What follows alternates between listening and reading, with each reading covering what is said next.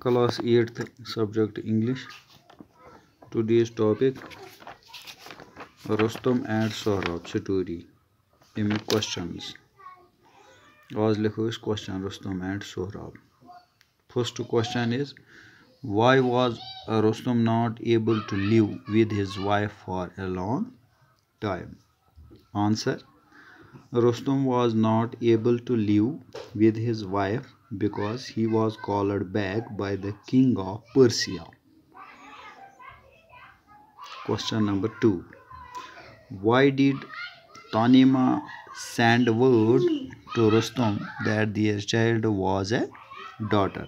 यानी अमुक answer question number to answer Tanima feared that Rostam would take the child away with him if he came to know that it was a boy. Tanima did not want to lose her child, so she sent word to Rustam that their child was a daughter. Question number 3 What secret did Sohrab learn from his mother?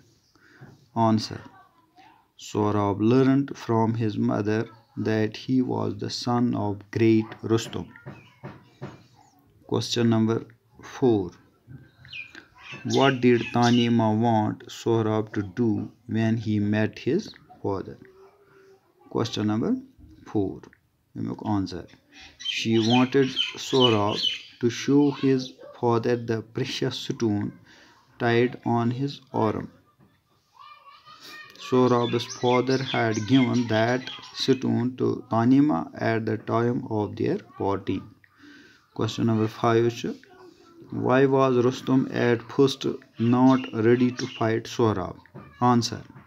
Rustam had become old, he had an aged father to look after, so he was at first not ready to fight Sohrab. Question number 6 Why did Rustam not tell Sohrab who he was? Answer Rustam thought that Sohrab would withdraw from the fight if he knew the truth. So he did not tell Sohrab who he really was. Question number 7 show. How was Sohrab wounded? Sohrab lost courage when he heard Rustam's war cry. Question number 8 what were Sohrab's last words?